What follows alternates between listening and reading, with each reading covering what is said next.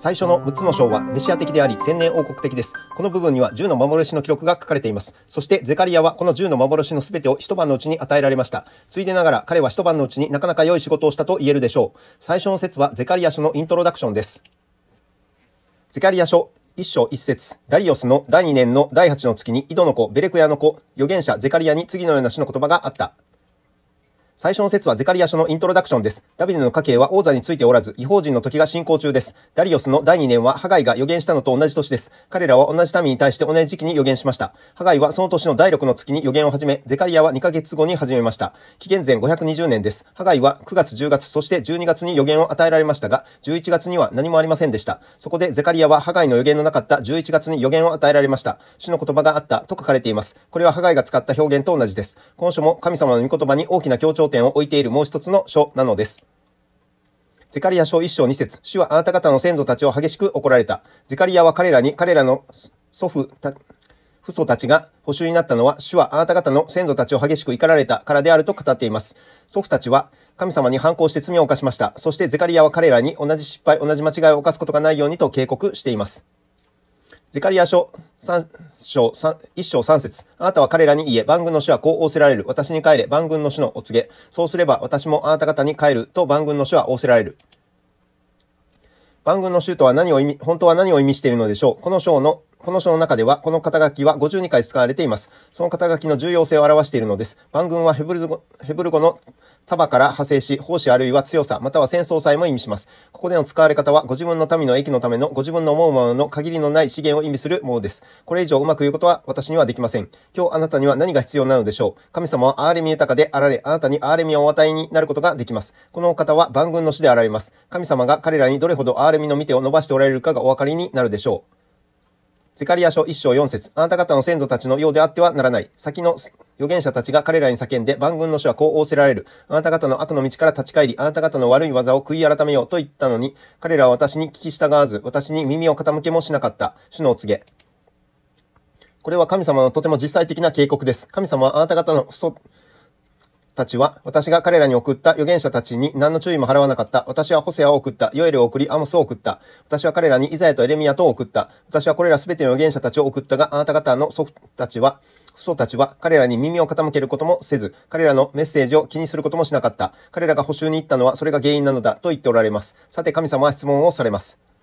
ゼカリア書1章5節あなた方の先祖たちは今どこにいるのか預言者たちは永遠に生きているだろうか以前の預言者たちの声はもはや聞こえません。エレミアもイザヤもホセアもアモスも去っていってしまいました。彼らは死に沈黙しました。彼らはずっと向こうのバビロンに埋葬されています。バビロンはイスラエル人が埋葬されるべき場所ではありません。年老いたヤコブでさえ自分をエジプトに埋葬することはしないとヨセフに誓わせました。そして彼の遺体は今日ヘブロンにあります。族長たちと敬虔なイスラエル人たちの希望は死者が蘇る時に自分たちの地にいるということでした。彼らはその地域に埋葬されることを望みます。なぜなら彼らはメシアがその場所に再臨されるのを見ることを期待しているからです。個人的に私はキリストが御国を立て上げるために地上に帰ってこられる時に彼らが死から蘇らせると信じています。景挙の時には主イエスはご自分の者たちを地上から呼び出され空中で彼らに会われます。その時には主はご自分の御国を立て上げられるために地上に帰っては来られません。まず最初に世界は大観難時代を通り、それからキリストご自身で地上を治められるために来られるのです。旧約聖書の生徒たちを大観難時代の前に蘇らせることには意味がありません。大観難時代が終わって無国に入ることができるまで待っていなければならないからです。そういうわけで、ゼカリアを通して問われた神様の質問はとても適切であることがわかります。あなた方の先祖たちは今どこにいるのか彼らはバビロンの水路のそばに葬られています。イスラエルの地に希望があるのですから、その場所は埋葬されているのには悪い場所なのです。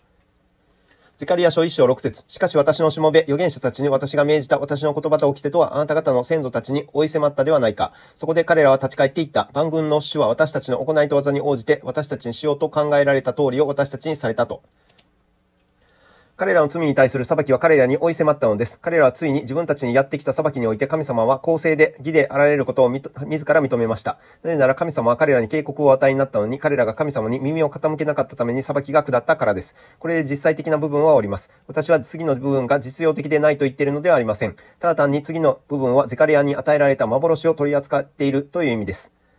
ゼカリア書一章何節ダリオスの第2年のシェバテの月である第11の月の24日に井戸の子、ベレクヤの子、預言者ゼカリアに次のような詩の言葉があった。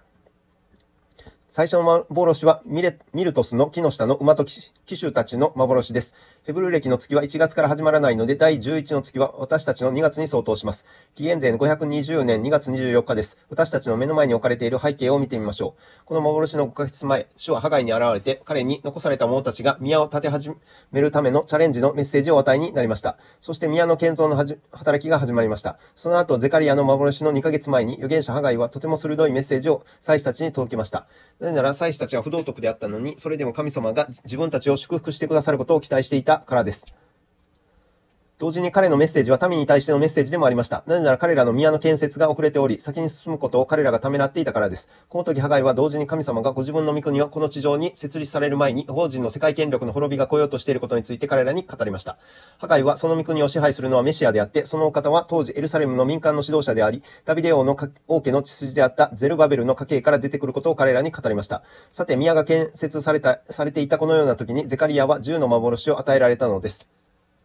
ゼカリア書一章八節夜私が見ると、なんと一人の人が赤い馬に乗っていた。その人は谷底にあるミルトスの木の間に立っていた。彼の後ろに赤や栗毛や白い馬がいた。ゼカリアははっきりと目を覚ましていました。一つの人が赤い馬に乗っていたと書かれています。この人は受肉される前の主イエス・キリストです。この人物は11節、12節では主の使いと呼ばれています。旧約聖書の中ではこの主の使いとは神様であるとはっきりと示されています。ですから旧約聖書の中のこの主の使いは新約聖書の主イエス・キリストなのです。キリストが受肉される前にゼカリアはここで主がこの世を見守っておられることを見ています。今日この世の世俗的なものは全てサタンの支配下にあります。主イエス・キリストは影に立たれ、ご自分の者たち、特にイスラエルの民を見守り続けておられます。赤は血と流血を物語ります。この赤い馬に乗っている人物に関しては赤い色はこの方ご自身の血が流されるべきであったことを物語っているのです。主はこの地上を見ておられます。なぜなら主はこの地上の人類のために死んで血を流されることになっていたからです。私はそれぞれの馬に騎手がいたと予測しても良いと思います。この騎手たちはキリストの式のもとにある見つかいたちで地球を見張って主に見たことを報告する務めをしているのだろうと思われます。白い馬はおそらく勝利を示しているでしょう。栗毛や他の色が混じっています。そこにあるミルトスの木々はこの時に確かに谷底にあったイスラエルを示しているのかもしれません。ゼカリア書一章九節私が主よ、これらは何ですか？と尋ねると、私と話していた見つかいが、これらが何かあなたに示そうと私に言った。私が主よ、これらは何ですか？と尋ねると、と書かれています。私たちも同じ質問を持っています。ですから耳を傾けましょう。主はそれが何であるかを私たちに示してくださると言われます。ゼカリア書一章十節ミルトスの木の間に立っていた人が答えていった。これらは地を生き巡るために主が使わされたものだ。地を生き巡るためにとは彼らが地上を巡回していたことを示しています。ゼカリア書一章十一節するとこれらはミルトスの木の間に立っている主の使いに応えていった。私たちは地を生き巡りましたが、まさに全地は安らかで穏やかでした。私たちは地を生き巡りましたが、まさに全地は安らかで穏やかでした。とは、その時には地上が平和であったことを意味しています。それは良いことです。なぜなら記録に残されているこれまでの5000年の歴史の中には、およそ200年ほどの平和しかなかったからです。人間は荒々しく好戦的な被造物です。人間の心の中に戦争があるのです。ですから平和な時期というのは素晴らしく聞こえます。でもどんな種類の平和だったのでしょう。それはあまり長続きしない種類の平和でした。セカリア書一章十二節主の使いは答えていった。万軍の主よ、いつまであなたはエルサレムとユダの町々に憐れみを施されないのですか？あなたが呪って70年になります。この説の叫びは神様が本当の祝福を私たちにもたらしてくださるまでにどれほど長くかかるのでしょう？ということです。世界の国々は平和にイスラエルに対して無関心に過ごしている。が、その責任を取られることになります。この世界には、主イエスがエルサレムで統治されるまでは、恒久的な平和ではあり得ません。なぜなら、主こそが平和の君であるからです。それまでの間、主が提供される平和は神様との平和です。私たちの罪が許されたからです。もし私たちが神様と正しい関係にあるのなら、私たちは隣人たち、そして国々の中でさえも平和を保つことができます。平和は長続きしませんでした。なぜなら、エルサレムの街が平和の鍵であったからです。ゼカリア書一章十三節すると主は私と話していた見つかいに良い言葉、慰めの言葉で答えられた。その言葉が良い言葉であり、慰めの言葉であったことに注目してください。この時、ハガイは裁きを宣言していましたが、ゼカリアはそうではありませんでした。ゼカリアは神様の慰めのメッセージを伝えていたのです。ゼカリア書一章十四節私と話していた見つかいは私に言った。叫んで言え、万軍の主はこう仰せられる。私はエルサレムとシオンを妬むほど激しく愛した。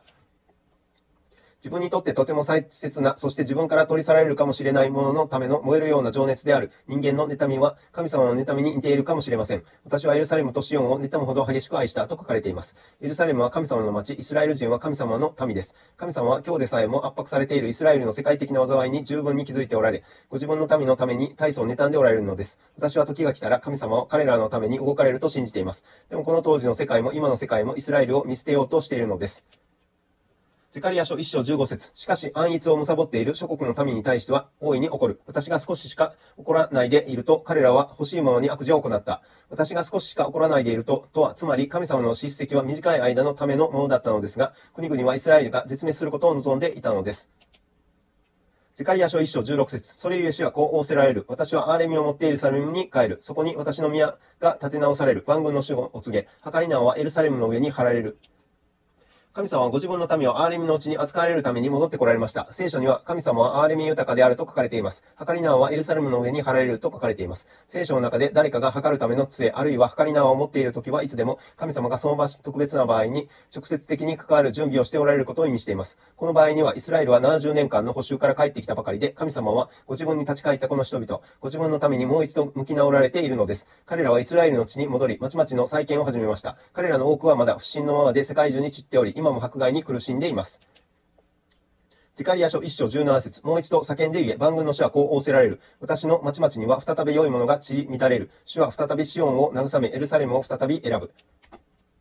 この人々が自分たちは将来に続く神様のご計画の中で働いているのだと認識することができるように、今節は将来を望み見ています。あなたも私も永遠の価値を持ったもののために働いているでしょうかあなたは今日何をしておられますか？その仕事は今日から10年後にはどんな価値を持っているでしょう？今日から100年後ではどうですか？あなたも私も実際永遠の光の中で働いているでしょうか？そのことを念頭に置いておかなければなりません。ゼカリアの与えられた2つ目の幻です。ゼカリア書1章18から19節私が目を上げてみると、なんと4つの角があった。角があった。私が私と話していた見つかいに、これらは何ですかと尋ねると、彼は私に言った。これらはユダとイスラエルとエルサレムと散らした角だ。私は4つの角の幻を1つの幻、そして4人の職人の幻をもう1つの幻と考えます。1つの角は1人の違法人の支配者を示します。ダニエル書の中にそのことが書かれています。ダニエル書7章24節10本の角はこの国から立つ10人の王。これら他の箇所から角は違法人の世界権力を示していることがお分かりになると思います。ですから、ゼカリアが見たこれら4つの角は4つの世界権力を表しているのです。バビロン、メディアペルシャ、ギリシャ、そしてローマです。興味深いことには、次の幻の中で神様はこれら4つの角が将来取り扱われるということをとてもはっきりと示しておられることです。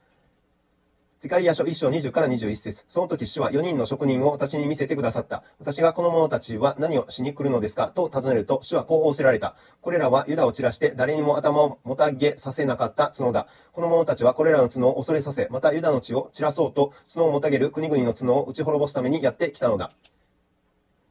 これは聖書の中に書かれている最も素晴らしい予言の一つです。4人の職人とは誰でしょう ?4 人の職人もまた神様のためイスラエルの敵を怖がらせ、投げ倒すために神様によって使われた4つの継続した権力を表しているはずです。予報人の時に関するダニエルの偉大な予言と調和して、そのうちの3本は順次に神の極めて厳しい見てのもとに職人になる。それに対して4つの四つ目の最後の角は帰ってこられるキリストによって建てられる世界規模の王国によって投げ倒される。ご自分の敵であり、同時にご自分の民の敵である者たちを粉々に打ち砕くためにキリストが来られるのである。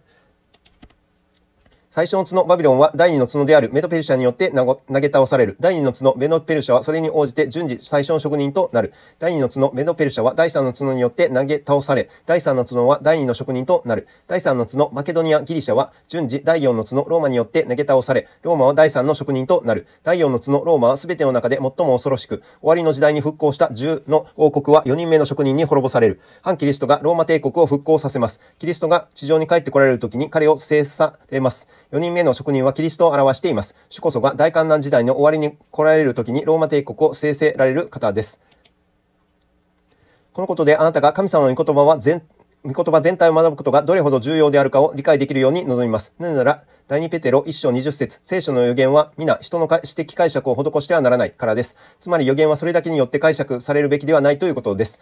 聖書の予言は永遠へと続く神様のとてつもないご計画の中に当てはまらなければならないのです。この世の独裁者を制するため、そしてエルサレムを中心としたご自分の御国をこの地上に立て上げるために職人として主はいつの日かもう一度来られます。神様は確かに私たちに対してもイスラエルに対しても誠実であられます。